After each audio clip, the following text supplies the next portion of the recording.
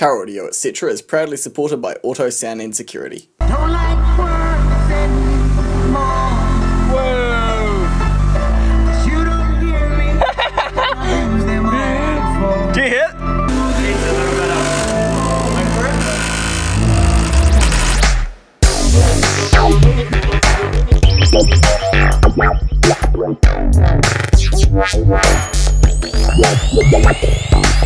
Good morning guys, how's it going? James here from Car Audio etc.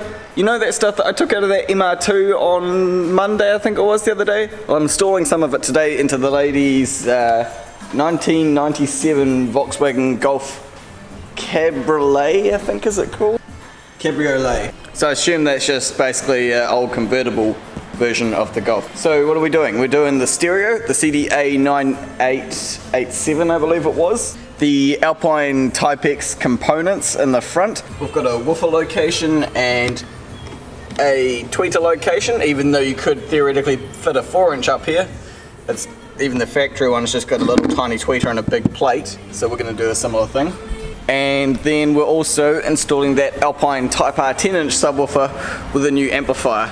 So the reason we're doing this, this subwoofer, this box, we're installing with this, this Alpine PDR M65. So the reason we're doing that is because uh, she has got the other car that I mentioned in the previous video, the Jaguar, and she wants that to have a really banging sound system. So I've told her those PDX amplifiers that I took out, those things are timeless and they will always be great. So let's hold on to those, stick those in the Jaguar, and then we're going to go for a new stereo, new speakers, and a new subwoofer setup in the Jag. And this, her other one, this is like a sort of her daily driver just down to the shops sort of thing, and the Jag's like the long road trip car. Um, this one's going to get the basic sound system, and the road trip car is going to get the banging one. So that's what I'm doing today. Um, hopefully Grant comes in a bit later on to give me a hand maybe with the speakers, but I'm going to start off on the stereo and amplifier side of things. Here's the factory stereo, piece of junk. So that's going to come out. I'm thinking I'm probably going to just install the amplifier under the seat here because it makes sense. And then obviously the subwoofer from the boot in the back there.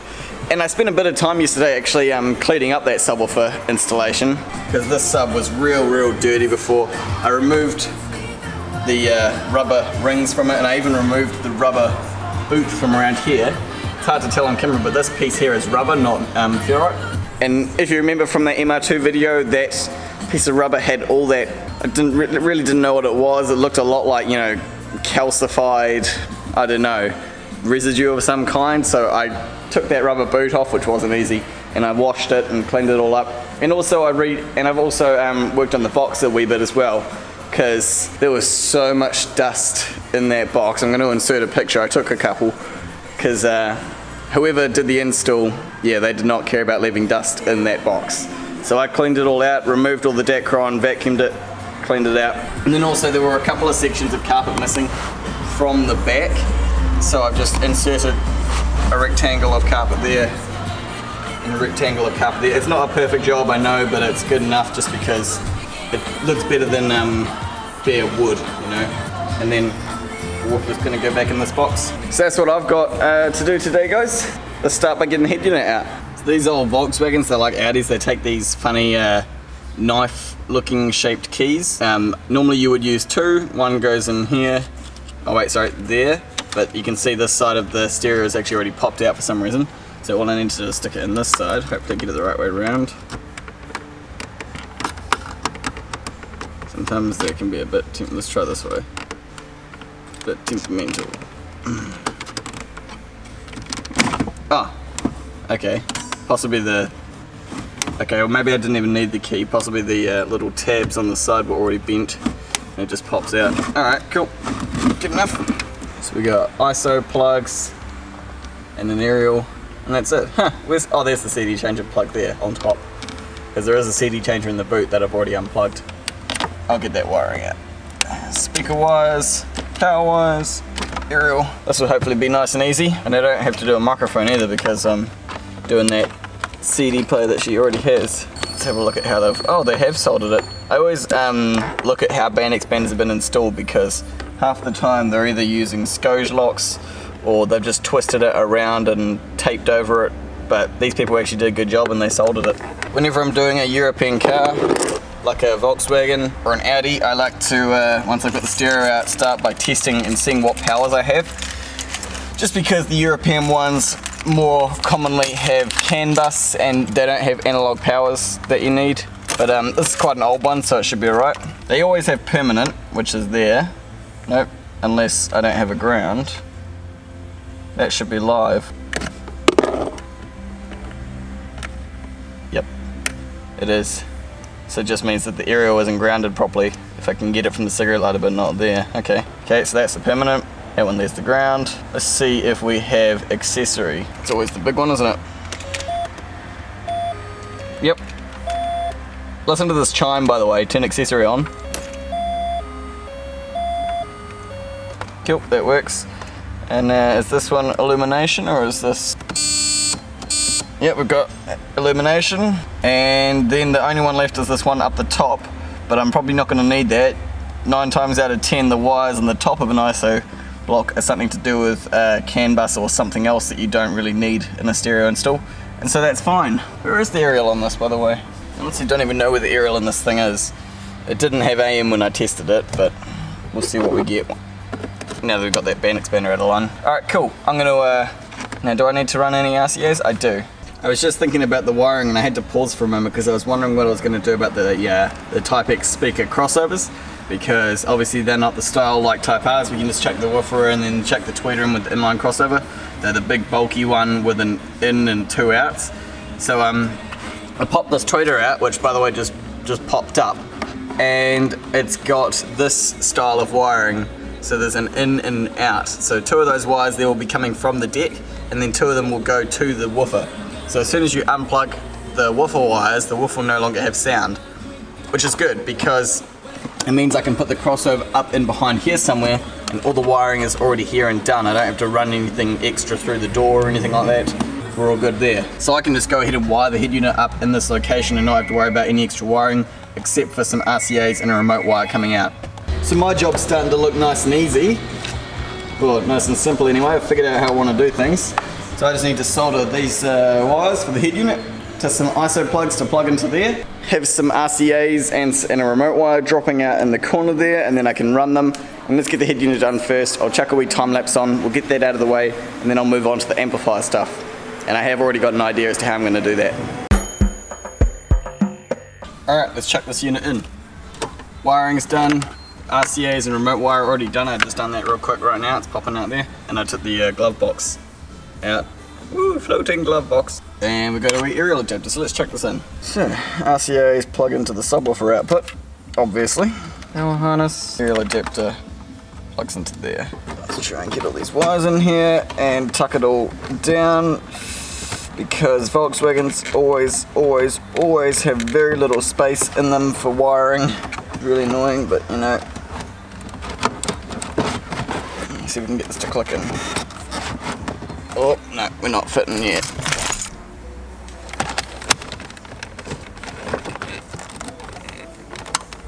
Oh, there we go. I think I got it clicked in. There we go. The check it still goes. Still good. Sweet. That's that problem. Just had to get in behind the heater there.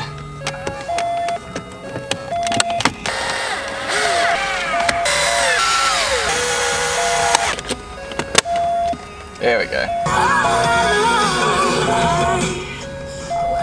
Still pretty bad reception, but I think that's the car at this point because uh, like it had bad reception when I tested it with the original stereo and it's still quite bad. I don't know where the aerial on this is though. Could even be the tuner and the stereo that I just put in as well. We don't know if that's any good. Okay, that's the stereo side of things done. Next step is running wires all the way back to the boot where I'm going to be putting the amp and also getting a wire through this firewall here. You can see a grommet, here's the battery. You can see a grommet just through there. Can you see that in the very back? I'm going to try and go through that grommet. 4 gauge wire.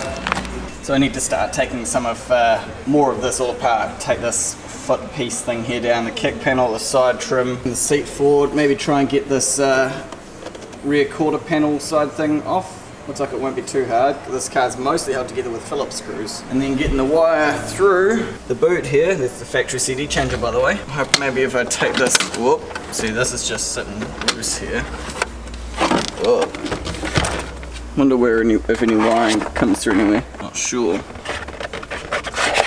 Hope to find a way. Two hours later. Okay guys, jeez, it is, that's the reason I'm not wearing my overalls, it is hot, like it's meant to get to 30 today, it's currently 27, I think I'm starting to glisten a wee bit, but um, yep, no, got all the wire running done, front to back, it's done, I know where I'm putting my amplifier, which I'll show you in a second, and just up here, here's my fuse holder situation, so the power wire comes out of the grommet through there, if it would focus on the right point, yep, so it comes out of there, I got a cable tie around it there, one-handed I might add, and then it just loops up to the fuse holder, which I, all I did was just used a little bolt, mount it through a spare hole there, and then it comes down, goes through that clip, and then this is obviously going to just go boom, straight onto the battery, which is there. That's how that side of things is done. Everything is uh, just ran in the fa- with the factory loom down the left hand side.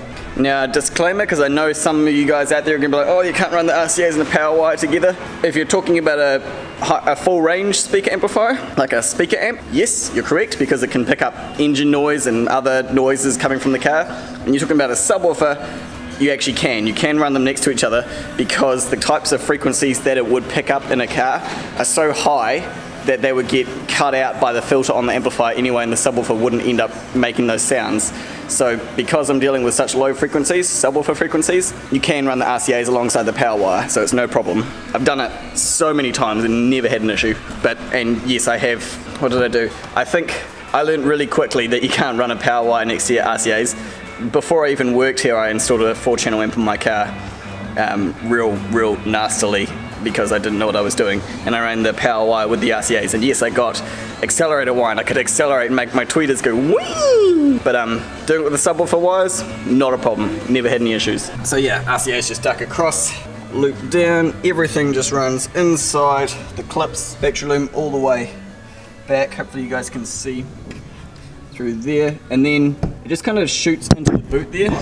And unfortunately there isn't much paneling in the car, like this stuff here is literally just like some foam material, but it, the wiring is basically all just ran straight down the corner and then pops up there, around and out there. And that is where I'm going to be mounting my amp. So this here is the is the CD changer, the factory one, and this panel sits over top of this device of whatever. Honestly, don't know what it is. Grant reckons it might be a vacuum pump for the central locking. I don't, I don't know. It could be, could be a fuel pump for all I know. I don't know anything about mechanics. But anyway, CD changer sits on top of that, and at first I thought oh, that's gonna be kind of flimsy. This is just like plastic. But then I found, realized that it's not just bolted to plastic. There's actually a big, where is it? Or, no, am I mistaken? Oh no, it is just bolted to plastic. I thought there was a bracket in here. What I might do is make a metal bracket or something under here to strengthen it up because the reason it was just flopping around was because these screw holes here, they line up with those screw holes there, but nothing was, they weren't screwed in. I don't know why. But um, so that's why it's flopping around. But I think I am going to try and mount the amplifier on top of there so it will sit up here. And it's the exact same size as the CD changer, so it's gonna be perfect.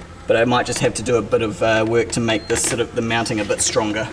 We'll see what I can do. So that's what I'm gonna be working on now. I'm gonna take the CD changer off and see how I can mount the amplifier to that panel. And I might even, um, I'm thinking I might even put some riv nuts in the wall over there in those screw holes and then that way I can put some actual proper like maybe six millimeter bolts through these holes and it'll be a lot stronger. That's what I think I'd like to do. Yes. All right, cool. Change it off here. These, oh no, it's spinning. Really cool. Okay, there's the panel off. Don't know why there's only three holding it in, not four, but anyway. So, that is the top of our panel, and actually, it is a good point that we would, if we're gonna mount this to here and then wire it all up, it needs to be raised up so we can get through to get to these screw holes to secure this panel back on. Or I have to put this on the back on the car and then mount the amplifier to this. Hmm. Let's get the amp out. Where are the mounting points for this amplifier? Oh, I see. You take these two screws out the top, out the front, and the top comes off. Anyway, this way, the amplifier could not more perfectly. Looks perfect. But we do need to have room for the wires to come out. So it may have to, hmm, let's take the top off this.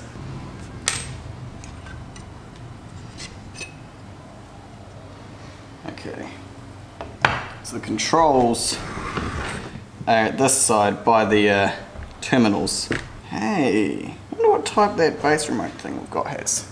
I just discovered that we actually have this Alpine bass remote in stock.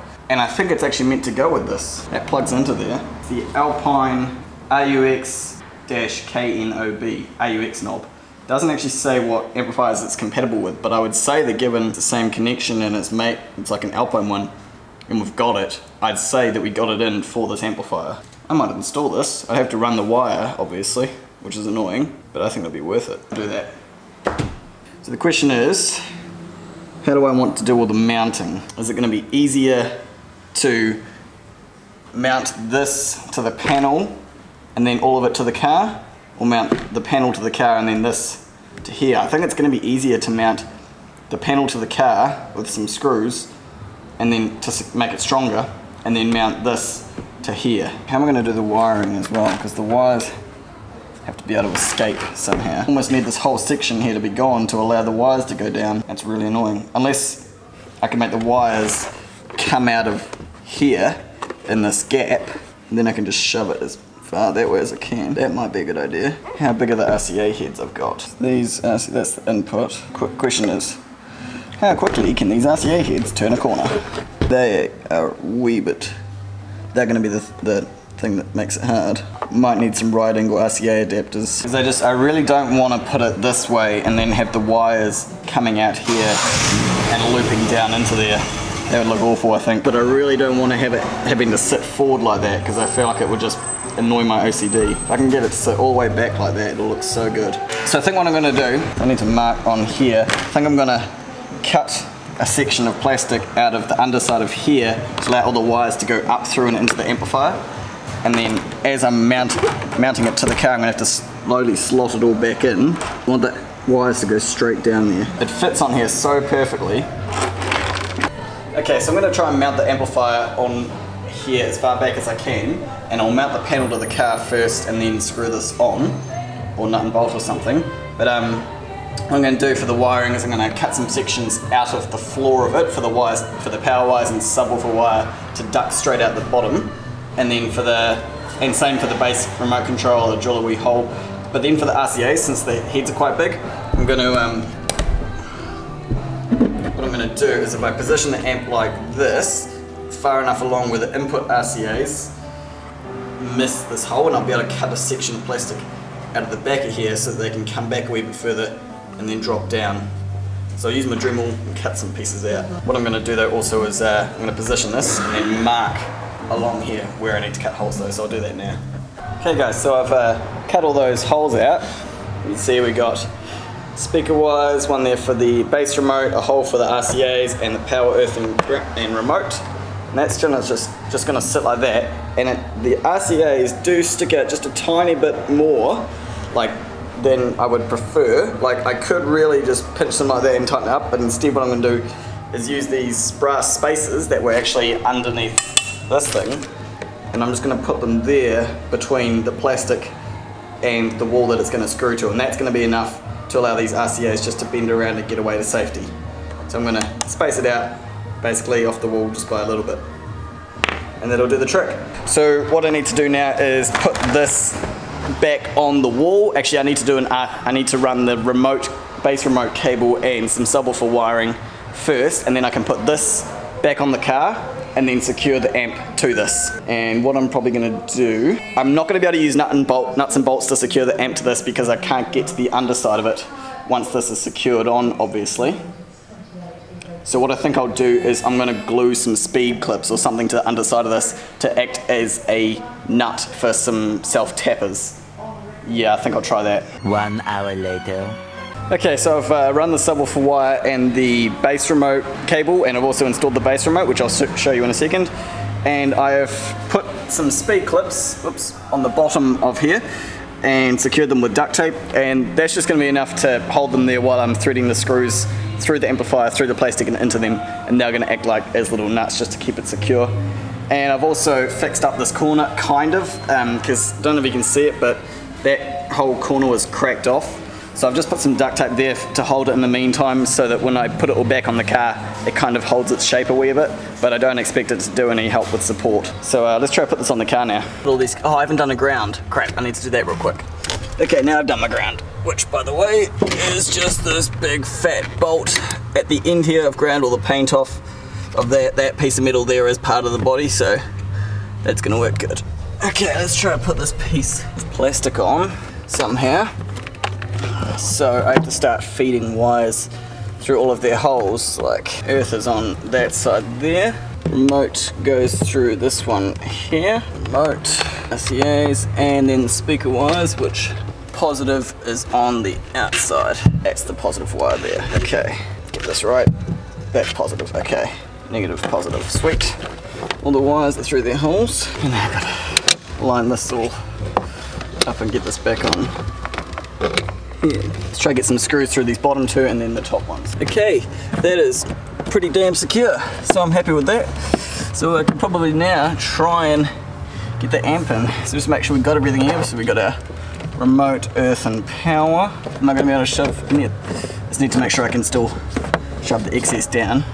Speaker wise. Okay, so I'm probably gonna have to do the tuning just need to make sure I tune it on the amp here now. Again, the bass EQ is going to be off. I'm going to put the low pass filter at 180, but then I'll adjust the low pass filter on the head unit as well. Maybe I should do, no, I'll do it 120 because that's good for a 10. And then bass EQ will be off, gain will be probably left at nominal, and subsonic filter, it's a 10 inch sub, so I'm going to put it, I'll just put it to 20 hertz. 12 seconds later. Alright guys, sorry to jump ahead, but uh, yeah, the amplifier is in and mounted.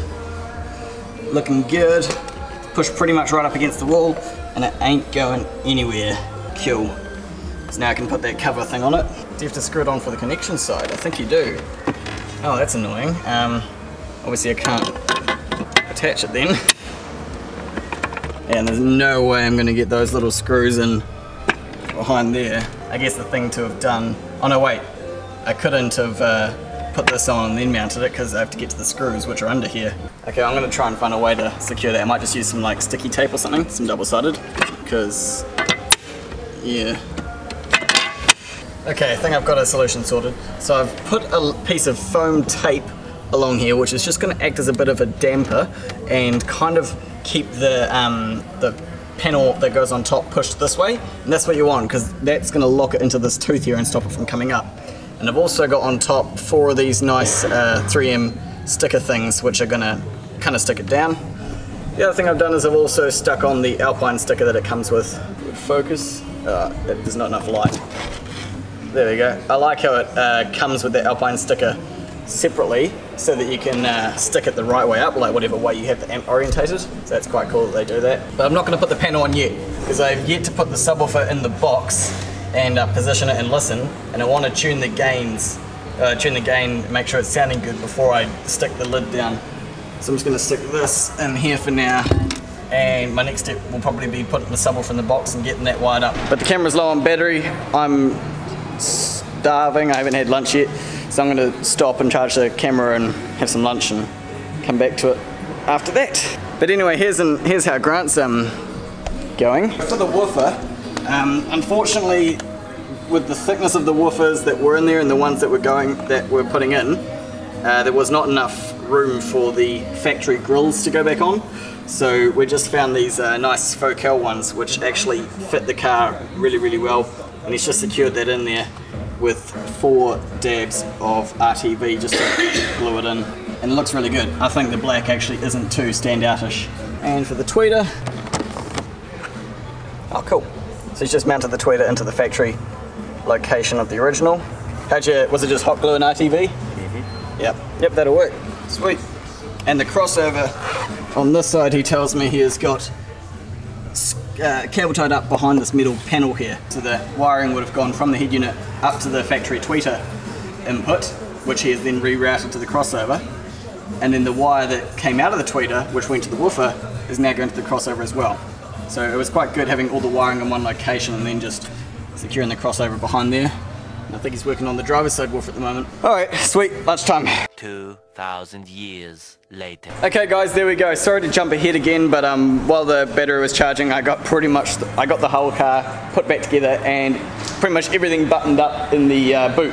Subwoofer is in its box and everything like that. It's all wired up and going.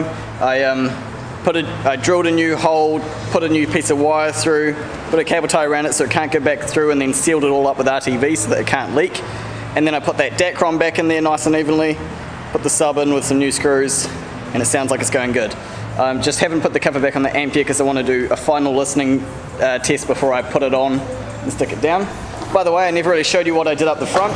I did show you the fuse holder, which is there on its bolt. That uh, power wire then goes down, loops in, and where it's bolted on, that was an empty bolt hole, just like the negatives there. There was an empty one, so I found a spare M6 bolt and just bolted it on without having to undo anything, so that worked well. Put this cover thing back on. It doesn't really fit. I don't know if it's meant to go on this car or what, but there we go. Whoa. Grant's all done over the driver's side. Don't really know where he put the crossover, but I saw him taking all sorts of stuff apart. Woofer looks good. Tweeter's hidden up under there. We're all good and going. Let's have a listen. Uh, get shit out of the way. Now I probably want to do this with the boot closed because I'm pretty sure we got as much gain as we're ever going to need. I haven't touched the gain on the um, on the amp. It's still set to what it comes factory, which is nominal.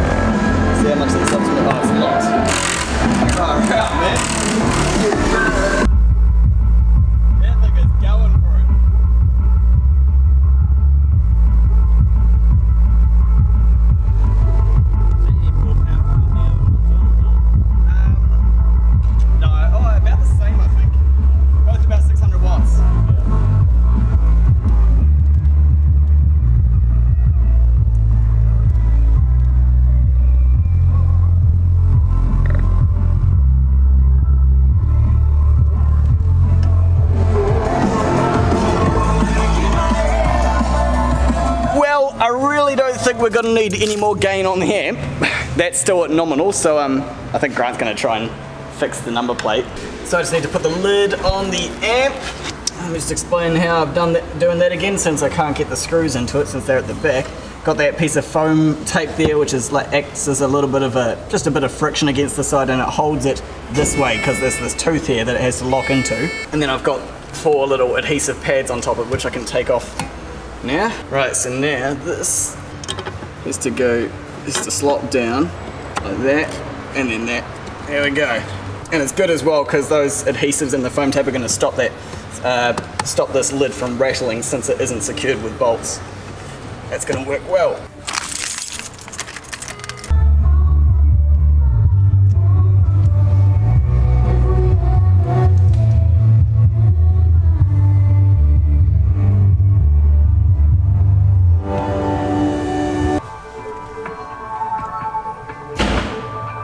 Knob just mounted under there. Nice. So that's it guys, the CDA 9887 is installed. I can't remember the exact code of those speakers, but it was along the lines of uh, Alpine, uh, what was it? I felt like there's a K in it. KLX77 something, I can't remember, sorry. But they were 17, 17 centimeter Type X uh, two-way components, an old style Alpine Type R 10 inch subwoofer, and a brand new Alpine PDR M65 one uh, monoblock amplifier to power it. sounding real good. Thank you guys for watching. If you didn't see the video where I took all of this stuff out of an MR2, click the link up in this corner and make sure you subscribe to my channel because I've still got uh, this lady's two PDX amplifiers to install to a Jaguar later on. So thank you guys for watching. Choose to be happy and I will catch you in the next video. Ka kite ano.